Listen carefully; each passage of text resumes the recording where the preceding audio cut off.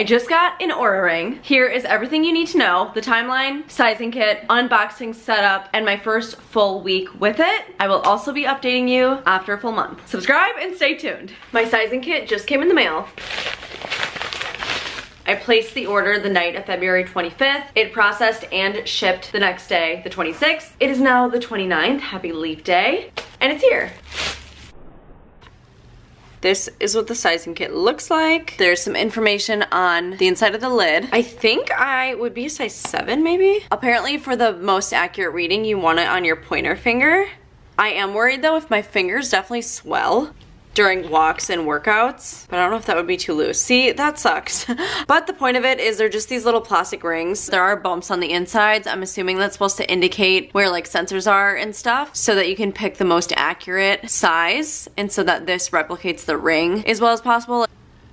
There is a sizing video. I think this should help me out. Welcome to Oura. Your Oura sizing kit will help you pick an optimal ring size that ensures maximum accuracy and comfort day and night. We recommend wearing your Oura ring on your index finger. The sensor bumps inside the ring should be on the palm side of your finger. Your fingers expand and contract during the day based on your environment. So we recommend wearing your ring sizer throughout the day for at least 24 hours. So I guess I'm gonna go ahead and wear this for about a day and then tomorrow I'll choose my size and they'll ship the ring. Exciting. It's only been like 20 minutes, but I just washed my makeup brushes and this thing is like so loose right now. So I am gonna go ahead and put the seven on for the rest of the day and see how it feels. I just worked out with my little ring sizer on. I did weightlifting and a little bit of cardio and I feel like my hands swell so much when I work out and I feel like the size was good. So I'm gonna go ahead and place the order for the actual ring. I also feel like it wasn't that hard to hold dumbbells and the barbell actually. So my ring ended up shipping Friday, March 15th and it just arrived here today, Monday, March 18th. So once they were able to to ship it out. It came fast. We have this cute little box here. It's so clean and minimal. The box totally reminds me of an Apple box. Very modern.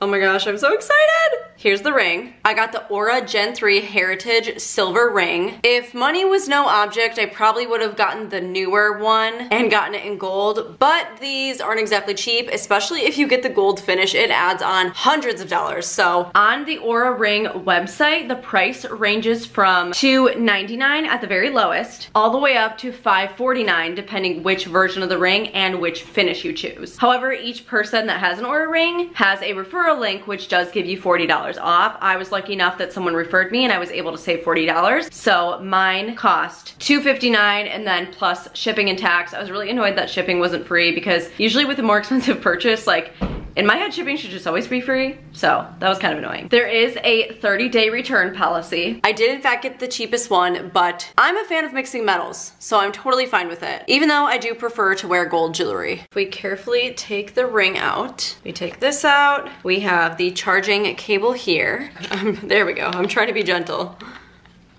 manual and papers. I'm assuming this, what the ring was sitting on, is actually the charger. Yes, okay.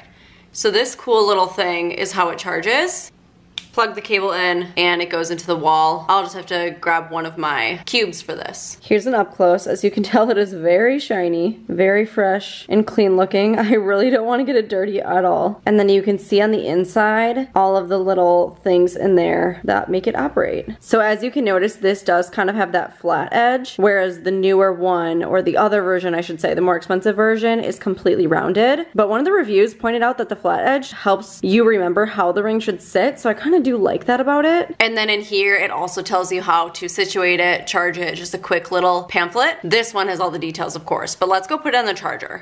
When you plug the charger in, it does light up and now it's charging.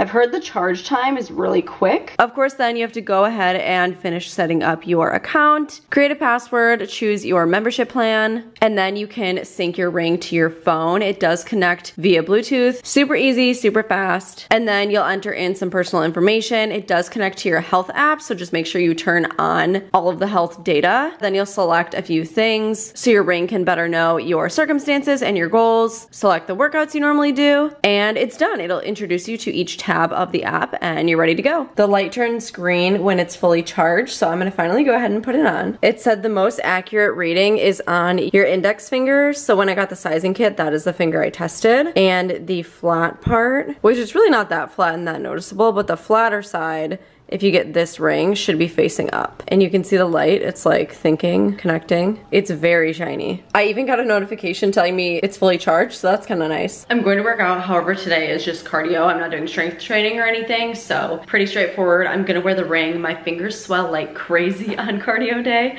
so that's the only thing that I'm really thinking about, but I'm so excited.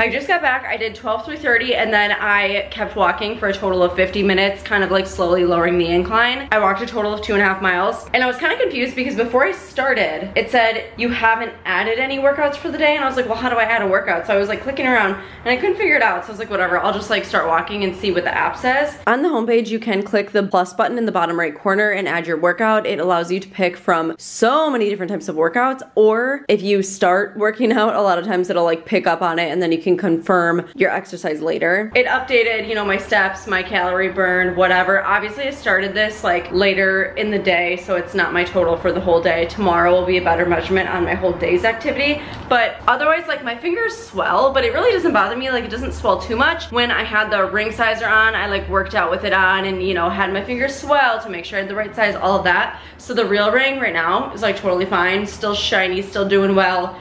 I didn't feel it. It's very lightweight, like things are good. Cardio day with it, good. Tomorrow we lift, that'll be another story. So the Oura Ring is water resistant up to a certain amount of meters. I believe it's 100 meters. And I think my routine, because it charges fairly fast and I do wanna wear it to bed, I think my routine is gonna be, I put it on the charger just when I shower because it doesn't need to track anything while I'm in the shower, right? But I am gonna wear it today just so you can see like, hey, it's waterproof, it's fine. It can hold up in the shower. It didn't feel like it was in the way of anything. It also is fine when I'm applying skincare products. If I was doing lotion all over my body, I would take it off because I feel like just rings in general, my lotion gets trapped under it. There's not much to say. It survived just fine. It's already pretty dry. My app didn't like notify me of anything. Still on and going. So yeah, I'm assuming it's good. Water resistant. I guess I don't know if people that like swim for exercise would swim with it on. I don't do that. I will be swimming in the summer, but I feel like I'd probably want to take it off. I guess I don't know. So I had my first night with the Oura Ring. It definitely wasn't annoying to sleep with. I do find that when I wake up, my fingers are a little swollen, but it doesn't feel like extra tight. Like it wasn't annoying. I didn't really know it was there. It was totally fine. My first like sleep analysis is there in the app. My like readiness that it gives you after like your night of sleep is all there, which is super interesting to read. Duncan actually barked like in the middle of the night and obviously it like woke me up and I was like, like freaked out, like jump scare, you know? It's super interesting because if I look at my heart rate, there is a point between 2 and 4 a.m. where it like shot up there and I'm wondering if that's when it was. But so first night was good. We'll talk way more analytics at the end of the week. However, I'm about to go work out. And one of the main things I was nervous about because it is so shiny, like I've been looking at it yesterday, today. The finish is really nice. Like it seems good quality. The ring really is so shiny. That being said, I weightlift typically four to five times a week and I don't want this to get all scratched up and like dinged up from the dumbbells, the barbell, etc. So I searched on Amazon for a ring like sleeve protector. I was like, this has to be a thing. It has to be out there. And I only really found like one result on the first page. I didn't dive deep and it only had 13 reviews. It's free returns anyway, whatever. Let me go ahead and try it. So I ordered them. The options were black or clear, like transparent. However, the transparent ones wouldn't get here for a few weeks. They must have been on back order. So I just got a pack of two black ones. There's only two different sizes available. This is the small and it says it fits sizes like six through 10 or something, but it's just kind of this like stretchy silicone that's supposed to help protect your ring from things like weightlifting. So I'm gonna try to put it on. Oh, that actually wasn't that hard. It hugs right around the ring, which is nice. Like you can tell the edges come in and wrap around so that it's secure. It feels totally fine. It's comfortable, it's slippery. It also didn't have a hard time getting over, you know how the top of my ring is technically flat because I have that version. There was no issues there. It seems like a nice little easy fix. I don't typically work out with rings on. It honestly doesn't feel bad. Like it doesn't feel chunky or in my way. And the sleeve really helps me feel like it's protected. I like it.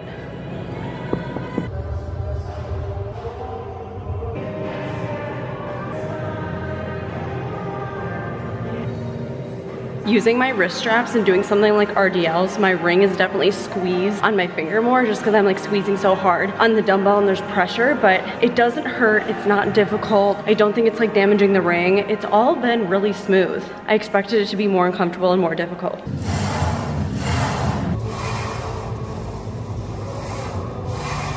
Using the barbell with my ring felt the same as the dumbbells, like it was good, better than I expected.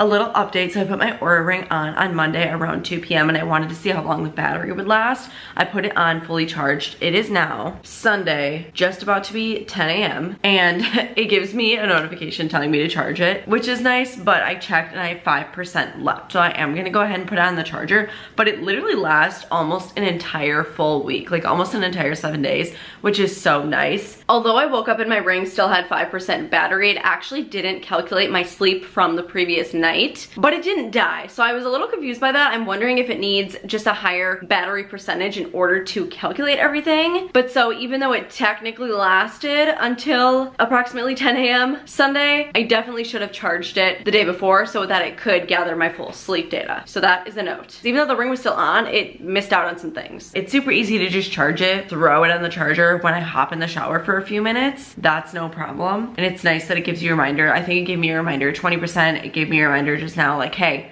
charge it before you go to bed, girlfriend, or you're not gonna get data. So I'm gonna go ahead and throw it on the charger and I'll let you know how long it takes to charge. Great battery life.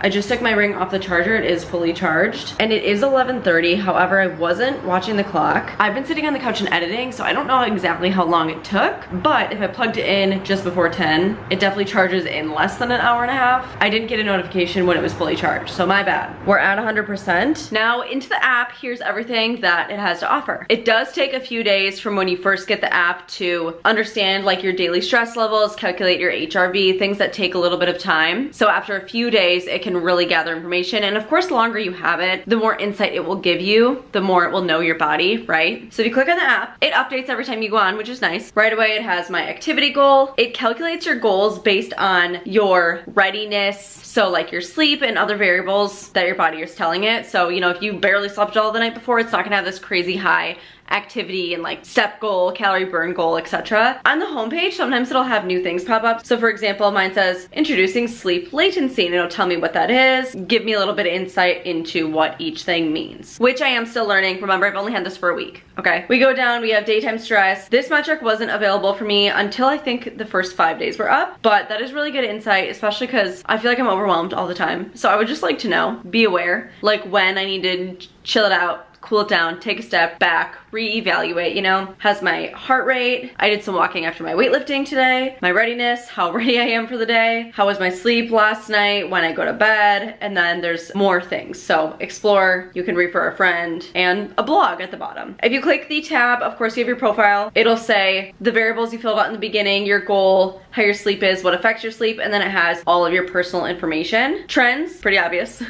Whatever you wanna click on and find out, really. Circles is something I haven't done yet. From my understanding, it's similar to how an Apple Watch you can kind of connect with friends. Explore, there's a lot of resources on here I have not taken advantage of yet. So there's meditation, breathing, sleeping, and then you can learn as well. So there's a lot of different videos and things to follow, which is really cool to just kind of have this all in one little app. And it's just fun that I can go on my Oura Ring and it can give me a little like meditation practice instead of, I don't know, searching a random video on YouTube, which is fine, but it's just, I don't know, it's just nice and convenient that it's on here. There's rest mode, designed for days when you need to rest. Maybe you have jet lag, you have an injury and illness, and you can turn on rest mode. So it's all devoted to taking it easy. You aren't given an activity goal and a lot of things are paused. Blood oxygen sensing, basic settings, help, and refer a friend. The other thing on the main home screen is that plus on the bottom right corner, which I kind of showed you before, which allows you to add a workout, but it also allows you to record your heart rate, add a tag, or do an unguided session. Again, I haven't taken advantage of these yet. That will be coming more in my month long update. Readiness, So it tells me my resting heart rate, heart rate variability, so how much it fluctuates, body temperature, respiratory rate, readiness scores, and then there's all the contributors that goes into my readiness score and how they get the score of 85, which is mine today. Then it will have more details, so my lowest heart rate from my sleep, average HRV, a graph to go with it. Next, tab into sleep. I have that day missing because of when my ring died.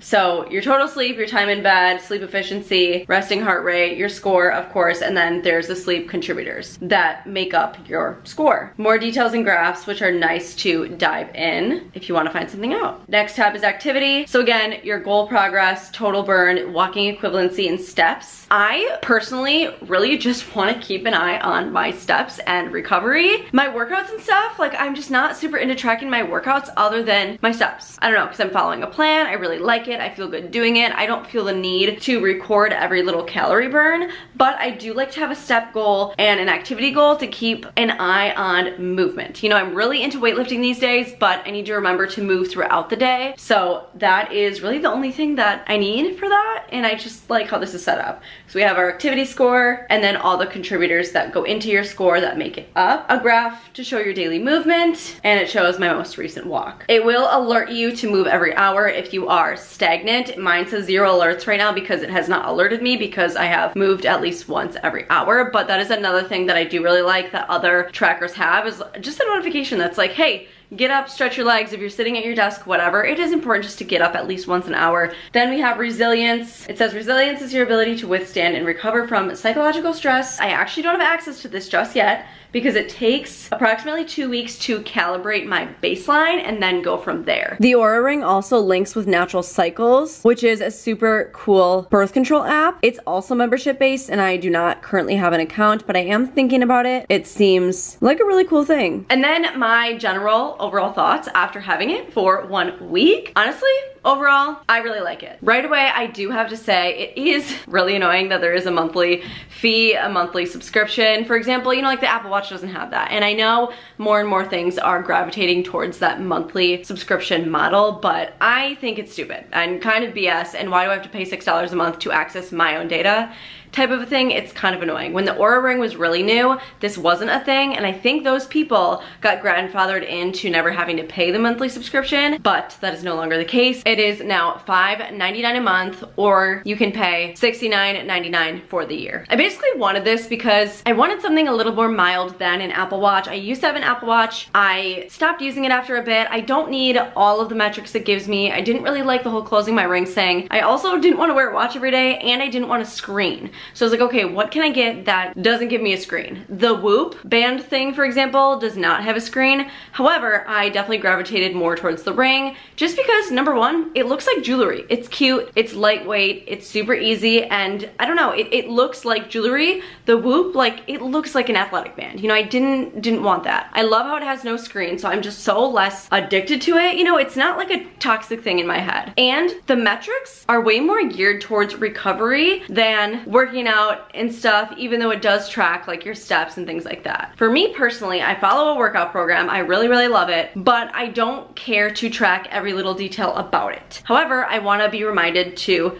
move throughout the day. That's very important to me and oftentimes I don't know where I stand. Did I hit my 10,000 standard steps or did I barely move at all? Like it's, it's hard for me to gauge that. So I do really like that it has some of those metrics. Also, sometimes I don't sleep great, so I don't know how much to push it the next day when I don't. And I know how important rest and recovery is for your physical goals. And I wanna know if I should be doing more of that stuff in order to kind of see more results and things like that. I do really like that it calculates your goals based on your sleep and your recovery and how ready your body is. And it's not a standard day to day, especially because because for example, for a woman throughout her cycle, she's not gonna be the same level of ready every single day, even if she gets, for example, the same amount of sleep every single night. You know, you fluctuate a lot throughout the month, and that is something I try to pay attention to and listen to my body and stuff like that. And I do think the Oura Ring is a helpful tool to use with that. One thing I've noticed and I really like is I really wanna make an effort to move every hour. And I wasn't really sure if I was doing that. I kind of just assumed that I wasn't.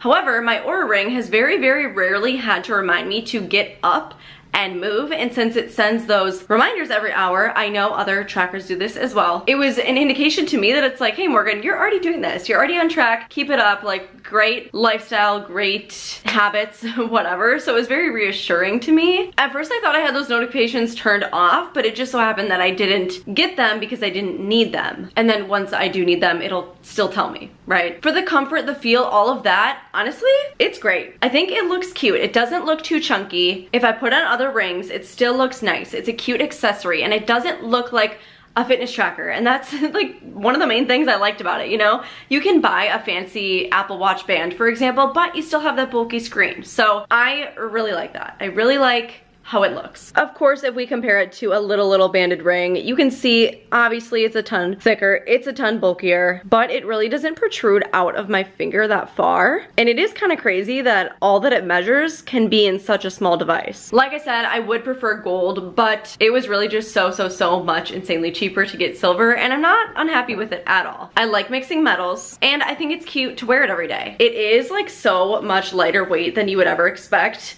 like it's it's really light. It is not heavy at all. It's probably lighter than a good amount of my earrings, honestly. And it really is high quality in the fact that it's still so shiny. It's not dinged up at all. Of course I used that sleeve when I worked out, but in daily life, I did not have the sleeve on. It seems super durable, like it's actually a nice quality piece of jewelry as well. I do think it's a tiny, tiny bit too tight. My index finger is definitely my chunkiest finger, and I tried on the ring size 7. I was worried it was too tight. I tried tried on the 8 and I was like, oh my gosh, the 8, way, way, way too big. However, when I take this one off, I do have a little bit of a dent and a mark. It doesn't bother me. It doesn't feel like my circulation is being cut off or anything, but it is just a little bit too tight. I also kind of like the flat surface on this version, the cheaper version, because it helps you make sure your ring is on right. And it barely looks flat at all. Like if you didn't look super up close, you would just think it's a basic rounded band. It really seems super, super durable, which is reassuring and very nice. Again, I'm only one week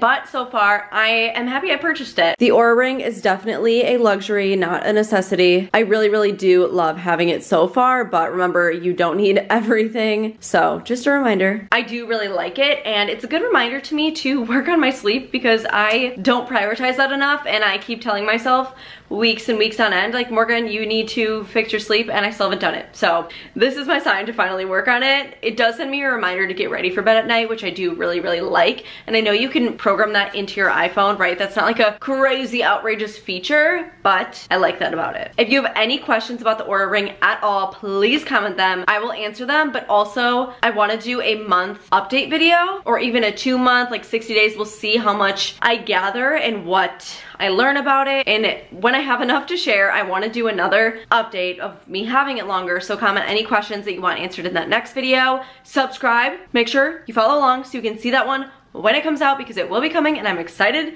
to film it. Thanks for watching. I hope this was helpful. Please subscribe if you've not and I hope to see you in our next one.